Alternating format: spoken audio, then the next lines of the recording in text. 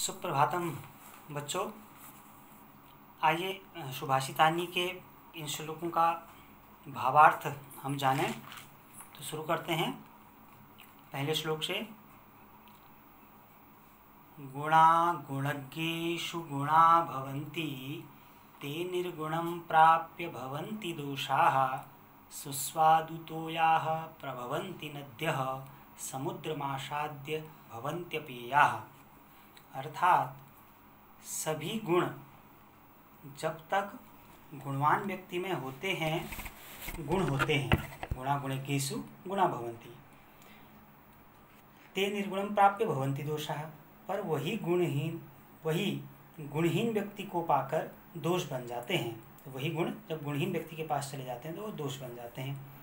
सुस्वादु तो यह प्रभवंती नद्य, जिस प्रकार नदियाँ स्वादिष्ट जल से युक्त होकर ही पर्वतों से निकलती हैं।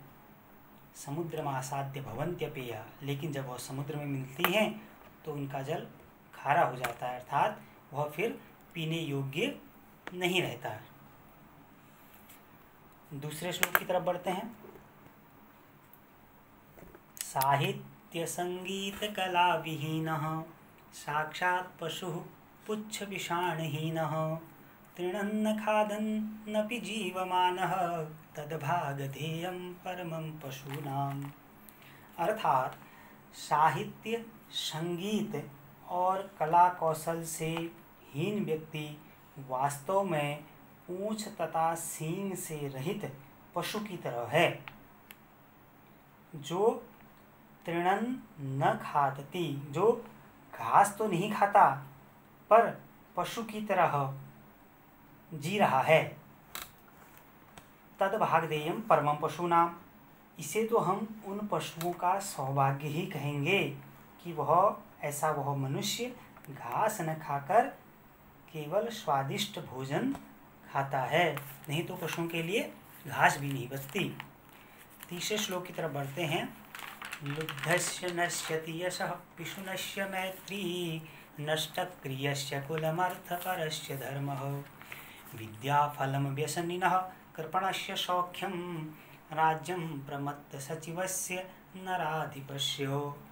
अर्थात लुब्धस्य नश्यति यश, लालची व्यक्ति का यश। पिशुनस्य मैत्री, चुगलखोर की मित्रता। पिशुन यानी चुगलखोर। नष्ट क्रियस्य कुलम, जिसके कर्म नष्ट हो चुके हैं, ऐसे व्यक्ति का कुल धन को अधिक महत्व देने वाले व्यक्ति का धर्म, बुरी लत वाले का विद्याफल, विद्या का फल, उसका ज्ञान, कंजूस का सुख और ऐसा राजा जिसके मंत्री आलस्य से पूर्ण हैं, उसका राज्य नष्ट हो जाता है। आगे बढ़ते हैं। अगले श्लोक की तरफ़। पीत्वा रसं तु कटुकं मधुरं समानं माधुर्यमेव जनयेन मधुमक्षिकासौ। सन्तस्तथैव संसज्जनदुर्जनानां श्रुत्वा वचः मधुरसूक्तरतं रसं सृजन्ति। अर्थात जिस प्रकार मधुमक्खी, यह मधुमक्खी कड़वे अथवा मधुर रस को समान रूप से पीकर मीठा रस ही उत्पन्न करती है ठीक उसी प्रकार संतस तथैव, ठीक उसी प्रकार संत लोग जो होते हैं, वह सज्जन और दुष्ट लोगों के वचनों को एक समान रूप में सुनकर क्या करते हैं? मधुर सूक्त रसम सृजंती। केवल मधुर सूक्ति रूपी यानी सुंदर वचन रूपी रस का ही निर्माण करते हैं, जो हम लोगों के लिए लाभदायी सिद्ध होता है। श्लोक नंबर पाँच।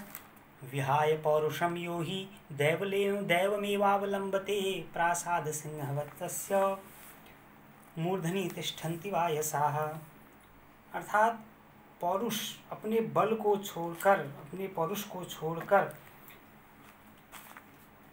जो भाग्य के ही भरोसे बैठे रहता है, उसकी स्थिति ठीक उस महल के बाहर बनी सिंह की, शेर की मूर्ति के समान हो जाती है, जिसके सिर पर केवल कौवे ही बैठे रहते हैं। अर्थात वह व्यक्ति फिर किसी भी काम का नहीं रहता, जो केवल भाग्य के भरोसे रहता है। श्लोक नंबर छः। पुष्पपत्र फल छाया मूलवलकलदारुभिः धन्या ये शाम विमुखम यान्ति हो। अर्थात ऐसे ये पेड़ धन्य हैं महिरुहा यानी पेड़, ऐसे पेड़ धन्य हैं, जिनके पास आने वाले याचक मांगने वाले याचक यानी मांगने वाले, कभी भी खाली हाथ नहीं लौटते।